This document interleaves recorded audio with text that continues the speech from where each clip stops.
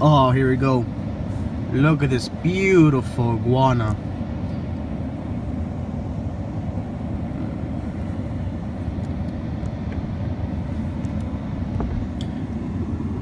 Where's he at? Oh. Right there, sunbathing. Yep, this is right outside where I showed you guys yesterday.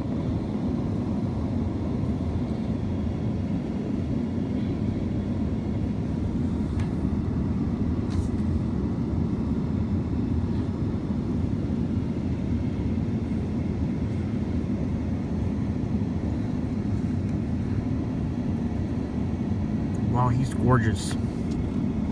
Well, yeah, guys, I don't know if you can see the details, but this is typically what you find here in Florida. So all you, so all you guys out there from up north that wants that wants to come down here and get one, feel free. But iguanas do have salmonella, so I'll be I'll advise against that. But yeah, this is your typical Florida iguana, and over there, I don't I don't know if you can see it right there in the grass.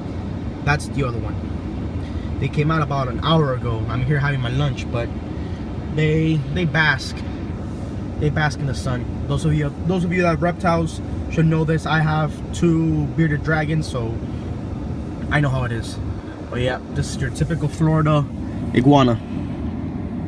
Look at him right there on the tree branch.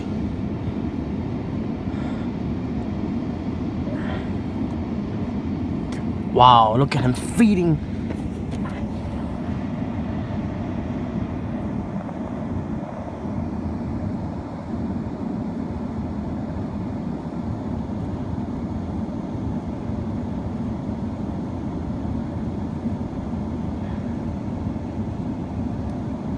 Wow, that's pretty cool. That's beautiful, man. You see how he gets the berries from the trees?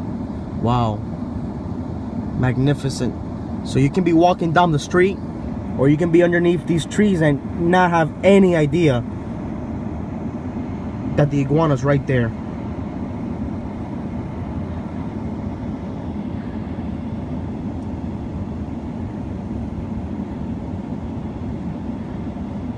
Oh someone saw me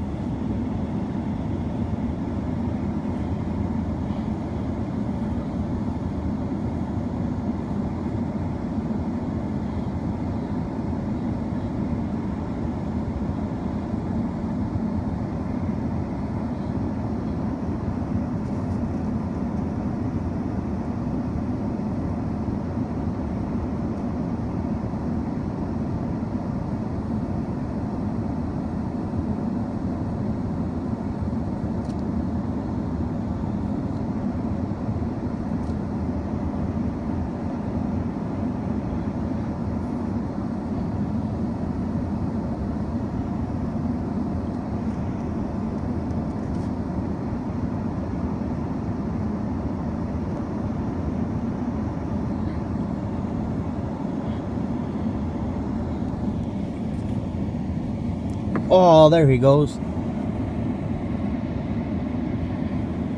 I startled him.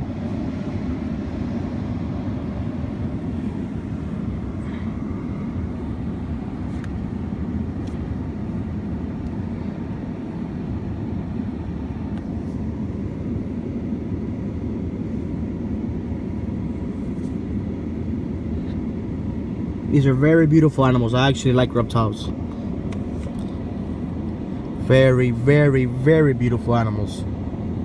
It's a shame because a lot of people you see how he is in the middle of the road well the middle of the street here a lot of people that work in this company like to come down that down this down that alley that's where the main gate is and they think this is a freaking NASCAR um, track and they just pass by here by 40 miles an hour.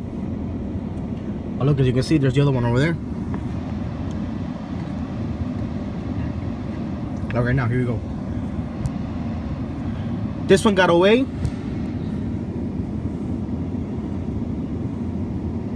But a, lot of them, a lot of them don't make it. A lot of them, they don't, they don't make it. I seen already seven.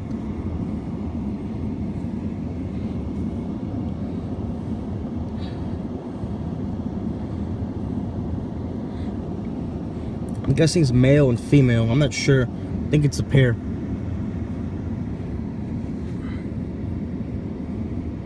Looks to be like male and female.